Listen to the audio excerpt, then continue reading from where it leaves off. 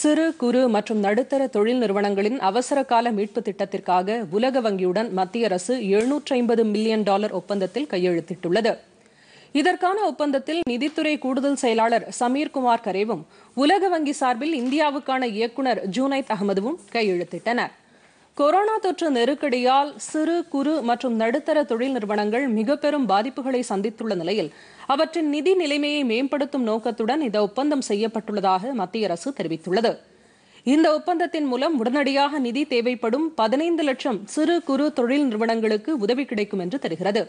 இதன் மூலம் ஆயிரக்கணக்கானோரின் வேலை இழப்பை தடுக்க முடியும் என்று நிதி அமைச்சகம் வெளியிட்ட அறிக்கை தெரிவிக்கிறது.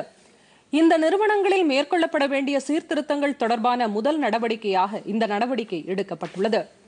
வங்கிகள் அல்லாத நிதி நிறுவனங்களுக்கு ஊக்கத்தொகை வழங்கவும் வங்கிகள் சிறு குறு தொழில் நிறுவனங்களுக்கு தேவையான கடன் வழங்கவும் இந்த ஒப்பந்தம் வழிவகை செய்யும் என்று மத்திய அரசு தெரிவித்துள்ளது. பொதிகை செய்திகளை யூடியூபில் தமிழ் நியூஸ் தூர்தர்ஷன் என்ற சேனலிலும் முகநூலில் டிடி பொதிகை நியூஸ் என்ற பக்கத்திலும் ட்விட்டரில் டிடி நியூஸ் சென்னை என்ற பக்கத்திலும் இன்ஸ்டாகிராமில் டிடி பொதிகை நியூஸ் என்ற பக்கத்திலும் காணலாம்.